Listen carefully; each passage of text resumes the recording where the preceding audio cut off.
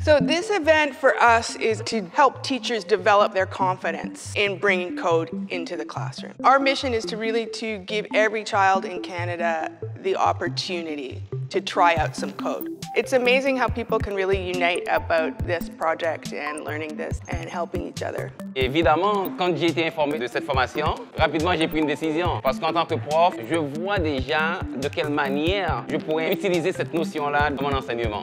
Pour moi, c'est un, un, petit peu intimidant parce que je suis pas très, très habile avec les ordinateurs. Fait que je me sens épaulée, je sens que c'est friendly, c'est vraiment agréable. I think the mission is itself just amazing because they target children at the right age. We're trying to go into schools where, you know, learning happens. We're not expecting you to be a computer scientist. We're not expecting you to become a software developer. We just want to put in like the, the skills, the way to think, and that like can help you in, in many ways of your life. Coding is a fantastic way to develop your curiosity and your self-confidence.